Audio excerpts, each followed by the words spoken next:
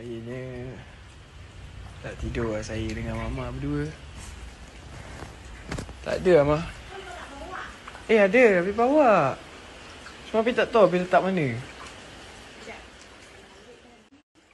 Rumah penyanyi Afiq Syazwan mula dinaiki air sejak tengah malam tadi. Dalam beberapa hantaran di Instagram story, kelihatan rumahnya yang didiami bersama ibunya mula dimasuki air di beberapa bahagian.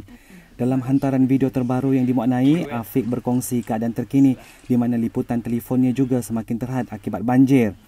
Harian Metro cuba menghubungi Afiq namun Afiq hanya sempat bersuara buat beberapa ketika sebelum talian terputus.